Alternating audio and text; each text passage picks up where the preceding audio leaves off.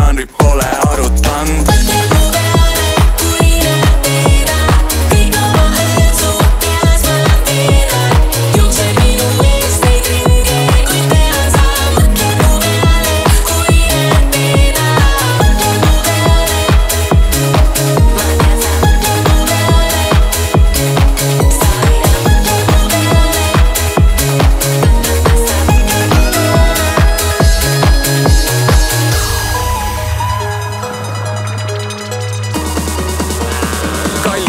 teeme seda siin ja praegu, ahah, just kohe praegu. Ma tean, et sul on partner, aga partnerkaart on aegunud. Nool tabas südant, oi ma päriselt ei siltinud, ta tegi.